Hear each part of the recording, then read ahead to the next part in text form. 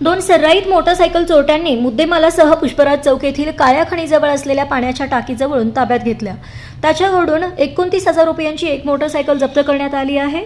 इम्रान अल्पाबक्ष शेख वय पस्तीस राहणार मुक्काम पोस्ट मांजरी तालुका चिकोडी जिल्हा बेळगाव राज्य कर्नाटक आणि सरफराज शहानवाज शेख वय पस्तीस राहणार शंभर फुटी रोड डीमार्ट मागे सांगली अशी ताब्यात घेतलेल्या दोघांची नावे आहेत. सदर कारवाई विश्रामबाग पोलिसांनी पार पाडली आहे. फिर्यादी सुहास नंदकुमार मदिहळ्ळी वय पन्नास राहणार दडगे हायस्कूलजवळ विश्रामबाग यांची मोटरसायकल पंचवीस जुलै रोजी दुपारी दीड ते अडीच वाजण्याच्या दरम्यान कॉलेज कॉर्नर येथे असलेल्या यशोधन बेकरी येथे कुणीतरी अज्ञात चोरट्याने चोरून नेल्याबाबत गुन्हा दाखल झाला. विश्रामबाग पोलीस ठाण्याचे पथक या गुन्ह्यातील अज्ञात आरोपीचा शोध घेत असताना संशयित इम्रान शेख आणि सरफराज शेख यांनी सदरचा गुन्हा केला असून ते पुष्पराज चौक येथील काळ्या खणीजवळ असलेल्या पाण्याच्या टॉकीजवळ थांबले असल्याची गोपनीय माहिती मिळाली.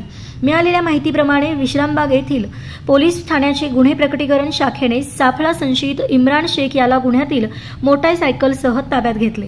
त्याच्याकडे चौकशी केली असता सदरचा गुन्हा हा त्याने आणि संशयित सरफराज शेख अशा दोघांनी मिळून केला असल्याची कबुली दिली. त्यानुसार दोघांना पोलिसांनी अटक केली आहे. सदर गुन्ह्याचा पुढील तपास पोलीस नाईक रेड्डी हे करीत आहेत. अशी माहिती विश्रामबाग पोलीस ठाण्याचे पोलीस निरीक्षक ईश्वर ओमासे यांनी दिली आहे.